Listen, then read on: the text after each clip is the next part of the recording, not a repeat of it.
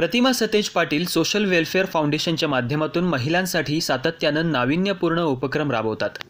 त्याचबरोबर महिलांना पारंपरिक कला सादर करण्यासाठी आणि त्यांच्या कलागुणांना वाव देण्यासाठी हक्काचं व्यासपीठ उपलब्ध करून देण्यासाठी Pratima Satej Patil social welfare foundation आणि श्रीराम विकास सेवा संस्था कसबा बावडा यांच्या संयुक्त विद्यमानं मंगळवारी दोन ऑक्टोबर रोजी महिलांसाठी भव्य झिम्मा फुगडी स्पर्धेचं आयोजन करण्यात आले. या स्पर्धा कसबा बावड्यातल्या श्रीराम सोसायटीच्या हॉलमध्ये होणार असून या स्पर्धेचं उद्घाटन महापौर शोभा बोंद्रे यांच्या हस्ते आमदार सतेज पाटील यांच्या प्रमुख उपस्थितीत होणार आहे.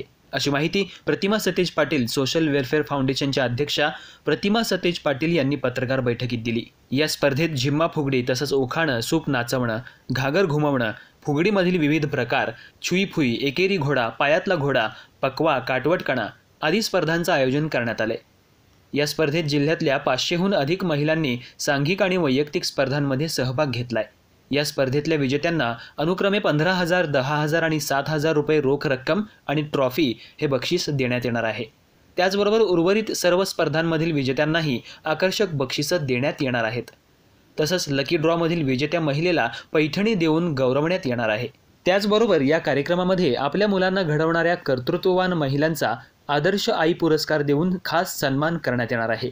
त्याचबरोबर खास सेल्फी पॉईंटसोबत महिलांसाठी पारंपरिक वेशभूषासुद्धा या कार्यक्रमाचं आकर्षण असणार असल्याची माहिती प्रतिमा सतेज पाटील यांनी दिली. पत्रकार बैठकीला श्रीराम संस्थेचे सभापती प्रवीण लाड आणि उपसभापती जया उल्पे नगरसेविका माधुरी लाड वनिता बेडेकर नंदिनी रणदिवे तसंच संचालक आणि संयोजन समिती सदस्य उपस्थित होते.